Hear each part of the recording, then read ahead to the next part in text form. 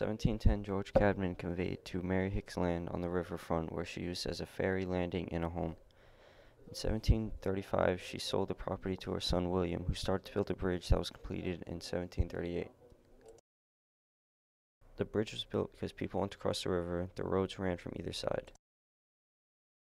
In 1739, the General Court permitted him to establish the bridge they had constructed as a toll bridge. In 1743, he was allowed to double the tolls because of the cost of building and taking care of the bridge. The rates of the toll bridge depended on what you wanted to cross over. The rates were a single passenger was one penny, every horse and man was two pennies, every horse or cow was one penny, every score of sheep or hogs five pennies per score.